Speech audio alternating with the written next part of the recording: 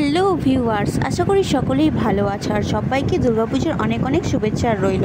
তো সকাল সকাল স্নান ধান করে নিয়েছি, যেহেতু অষ্টমী বলে কথা, তো অষ্টমী পুজো প্রায় শেষ হয়ে গেছে ছটার মধ্যে। সন্ধি পুজোও কমপ্লিট হয়ে গেছে। আর এদিকে আমি মন্দিরে এসে দেখি রিকিবাবু এসে দাঁড়িয়ে আছে। আমাকে দেখে তো হাই করে দিল, যেহেতু আমি ক্যামেরা করছিলাম। আর এইদিকে দেখো সবাই একে একে অষ্টমী পুজোর ডালা দিয়েছিল, সেই ডালাগুলো নিয়ে যাচ্ছে। আর আমি পুরো ঠাকুরের কাছে গেলাম। ঠাকুরের কাছে যেয়ে প্রণাম প্রণাম করে কয়েকটা ফটো তুলে নিয়েছি। ফটো তোলার পর ভাবছি, না, কপালটা ফাঁকা ফাঁকা লাগছে, সেজন্য নিচ থেকে ভাইকে ডেকে নিলাম।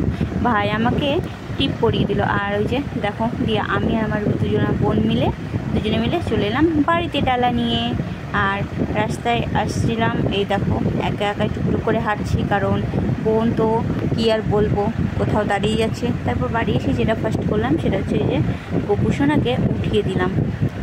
এখন গোপুসোনাকে ওঠানোর পালা সেজন্য উঠিয়ে স্নান ধান করিয়ে একদম নতুন ড্রেস পরিয়ে প্রসাদ দিয়ে ফাইনালি আমি আবার বাড়িতে থাকব। না, এখন তো পুজোর সময়, সেই জন্য মন্দিরে চলে এসেছি। আর এই ছোটো ছোটো বোনদের সাথে বসে বসে অনেক অনেক গল্প করছিলাম। আর এইদিকে দেখো বোন তো আমাকে ফোনের ক্যামেরা দেখা মাত্রই হাই করে দিচ্ছে, আর টুনিও আমাদের সাথেই ছিল।